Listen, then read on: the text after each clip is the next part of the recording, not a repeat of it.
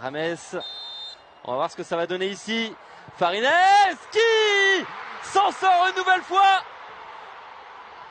Mais qui est quand même puni parce que le ballon est rentré.